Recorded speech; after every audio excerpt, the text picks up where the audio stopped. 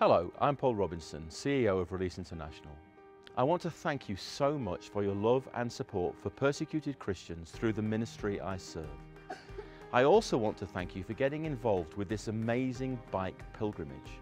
We are all deeply grateful to Reverend Robert DeBerry and his energetic team of volunteer cyclists for undertaking this challenge, which is a significant physical, mental and spiritual event. From the 14th of May, breaking for Her Majesty the Queen's Jubilee and finishing on the 25th of June, the bike pilgrims are riding from the Kent coast at Foreland Point Lighthouse to Land's End in Cornwall and back again, a round trip of over 900 miles.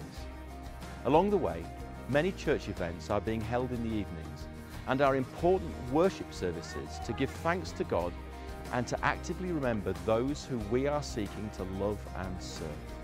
There are hundreds and millions of Christians who are being persecuted around the world today just for following Jesus Christ.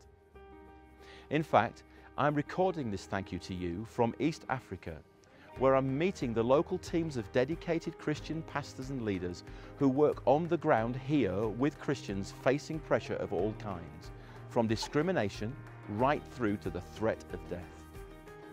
As some of you may very well know, the situation for Christians in parts of Africa is increasingly perilous, particularly for those who come to Christ as converts.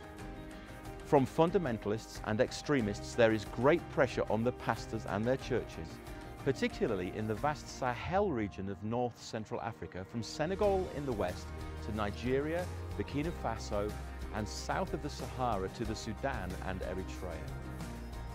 Tonight you will be upholding all persecuted Christians in your prayers across the world. Thank you so much for taking time out today to stand with your brothers and sisters as the one body of Christ and to go on raising their voice, continuing to cover them with your prayers and your petitions through our Lord and Saviour Jesus Christ.